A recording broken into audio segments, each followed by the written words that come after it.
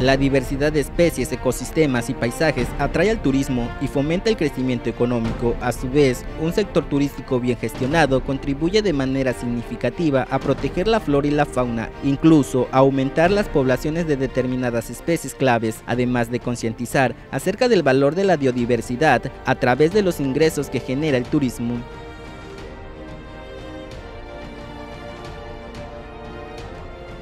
La celebración del Día Internacional para la Diversidad Biológica nos brinda la oportunidad de resaltar los beneficios que el turismo sustentable tiene para el crecimiento económico, así como para la conservación y el uso sustentable de la biodiversidad.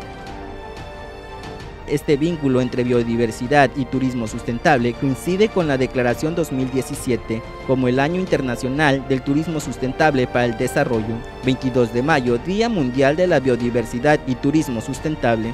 Para Guagro TV, Gaudencio Cantú.